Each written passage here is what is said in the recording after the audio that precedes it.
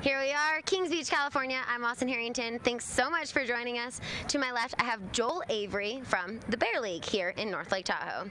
So thanks for joining us. It's summer, the bears are out, wildlife is out. What do we have to do to stay safe from the bears, but also bear safe?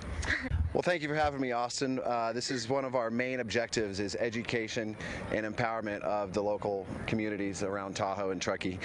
Uh, right now, one of the main things that we're trying to tell people is to keep your doors and windows closed um, and locked.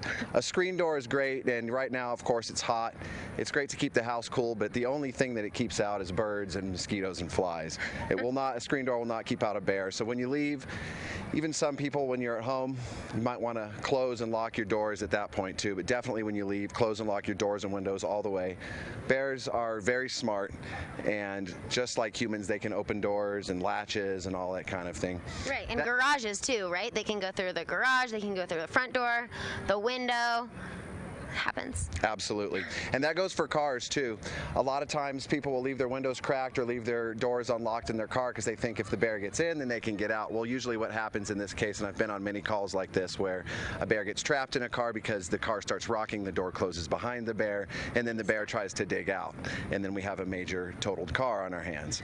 Uh, the third thing I wanted to mention is that right now we're in peak season for bears being seen on and around our roadways around Tahoe. So the best thing to do is just like with everything else, stay alert, keep scanning, and go the speed limit both daytime and nighttime. And if you see a bear that you think is in danger of getting hit, to absolutely call the Bear League. Awesome. Um, what are some things that we can do? We know that you're all volunteers. How can we volunteer our time and help the Bear League?